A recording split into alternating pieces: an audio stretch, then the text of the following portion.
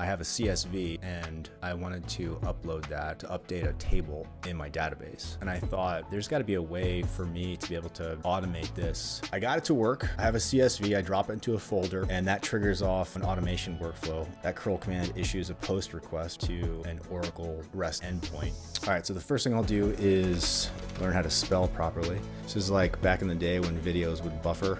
I want to choose folder action. The one that you want is specified. We're gonna say, get the stuff that's in that folder. Now, what are we gonna do with that stuff that's in the folder? This is where the shell script comes in. So we're saying for the stuff that is in the CSV file, do the following. So we go to set value of variable and we're going to display that as a notification. When we drag this in here, so there we go. See all the information that it gives you right here. And that's what we see here. If you're looking for another way to play around with ORDS and Podman, check out this blog. I will see you guys on the next video. Bye.